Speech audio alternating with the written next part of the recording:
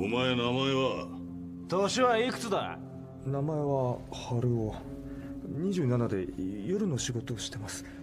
あさっきはそのあまりの状況に体が興奮してしまいまして。なるほど。ド M のホストか！お前変な男だな。よく言われます。これ結構危険な状況じゃないか。ルイ先輩。どういうつもりで俺を誘ったんだろ春尾遠慮なく食えよ。そうだここは裏市だぜ。好きなだけ食えよ。遠慮すんなよ。食べられません。申し訳ないですが自分は大狐です。油揚げしか食べられないんです。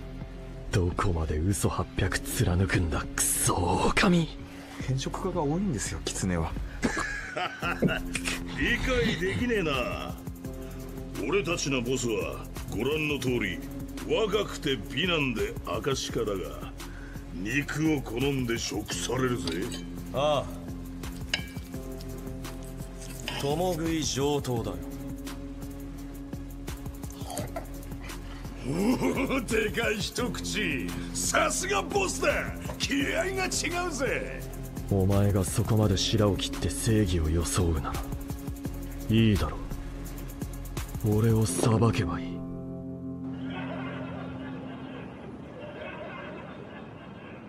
お互い道